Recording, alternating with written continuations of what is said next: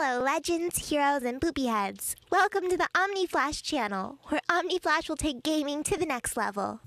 Hello guys, welcome back. This is OmniFlash. Today we're going to do an engraving video. This is going to tell you everything about engraving and what to do to prepare for the engraving update. What we're having soon is that engraving is getting a whole new revamp and we will have engraving resonance. I really enjoy engraving and lots of you have asked for a guide and so here it is. We're going to show you how to engrave and what's the best ways to do about it. You have to understand something about engraving. It is sort of like guaranteed battle rating. You can never fail an engraving, so you can never lose your battle rating the rewards that you get from engraving isn't as great as if you succeed in enhance. However, you can fail enhances and you can lose battle rating. If you engrave, which you should try to, and I'll show you how, you will gain some battle rating, and which will make you stronger. All the stats available for uh, for engraving are very valuable. Their attack stats and key defense stats. Alright, so right now there is a pack, the X Xmas Christmas pack, which is basically this is the Christmas weapon skin pack. And I always get this because it usually comes with a seven day wing or a seven day costume. And if you get that, it will make it cheaper for you to actually buy the costume. However, this this pack is super nice because you get a permanent weapon skin. And since the pack is only 58 bound ingots, you will be getting the permanent weapon skin after you open this box 30 times.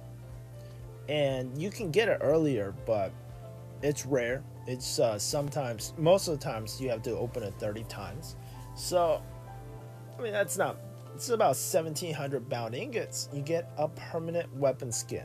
Then it feels like everything else you get from the box is free, which half of the items that you will get from the box is engraving mats. So be sure to get this pack. You will get Elysium stones, you get engraving mats, you get all sorts of things that you will need. And uh, if you like collecting, this is a permanent weapon skin, and definitely, definitely do get it. Alright, so do note that that pack gives you, after you buy 30 of that pack, you get the weapon skin. And then you see the costume I'm wearing, that's just part of the event, and that is only 7 days. However, the, the weapon is is forever if you get that pack. You will also be able to just go ahead and get engraving materials straight from the marketplace. It's not a bad place to get it, but you do need silver ingots, which isn't which isn't something that you get a ton of. So so there are other places that you can get them too. You can get them from events such as the Path of Ashura. Try to make sure you get to the Path of Ashura. That is a good way to get engraving mats. There are other events that you can do to get engraving materials as well and you can do treasure maps. Doing treasure maps, just uh, go digging up treasure maps will also get you engraving materials. A really great way to get engraving mats is to do the tower. And you want to climb the tower as high as you can get because the more tower levels that you beat, the more pearls you get every day by clearing that.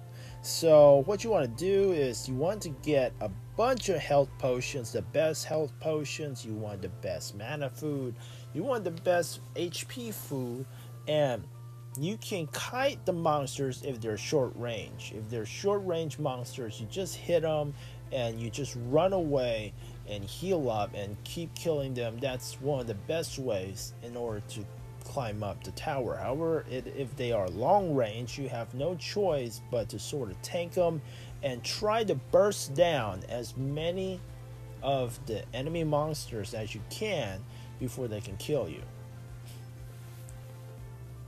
Alright, so in engraving, I do recommend that you engrave everything equally.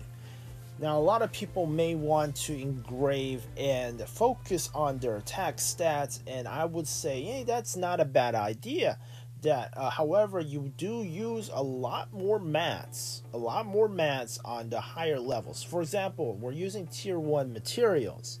At tier 1 level 1 mats you will use like one mat.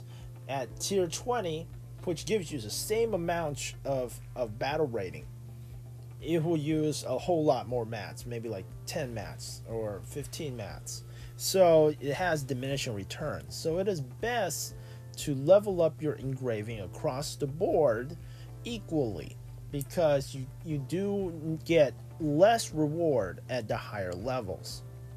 Also, there's another thing that's coming is engraving resonance. Engraving resonance is coming, so it's very similar to gear resonance and stuff like that. You do want and soulstone resonance, anything that's resonance. Basically, you want across the board, you want your engraving the same level you will get engraving bonuses from uh, Resonance. So that is coming very soon. So do be sure to engrave across the board at about the same level. This way you will have the same resonance. If you waste all your resources and focus too much on your attack stats, which is which is which is nice, then you may not have enough resources to raise up the rest of your engravings in order to achieve resonance.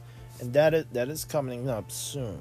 One thing to keep in mind is if you do have some level 2, if you do have some tier 2 engraving mats, is that if you are trying to rush your attack stats like I tried, you will have to you have to you have to level up to 20 both stats on that piece of equipment before you can use tier 2 so as you can see right here, I'm unable to, I'm just can't use tier 2 until you get both stats, both stats on your on your equipment to level 20. Similarly, you won't be able to use tier 3 mats for engraving until both stats on that piece of gear is level 40. Tier 4, you have to have both stats up at level 60.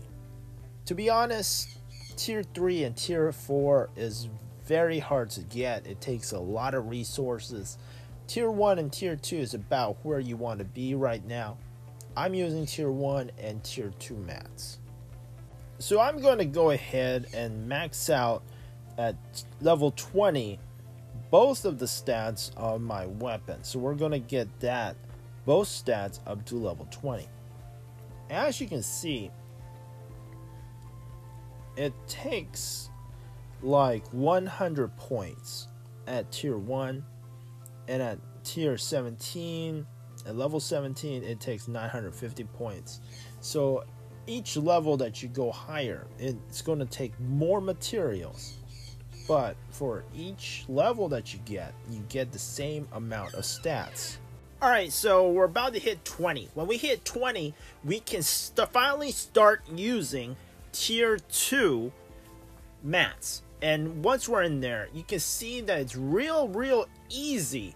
It doesn't take very mat uh, much mats. You can get from 21, you can get to 25, and then it gets a little harder. So it's just like in engraving materials level 1 it starts out real easy. It starts out with just 100 points. And for each 100 points, then it goes up. At 24, it's 340 points. At 25, it's 400 points.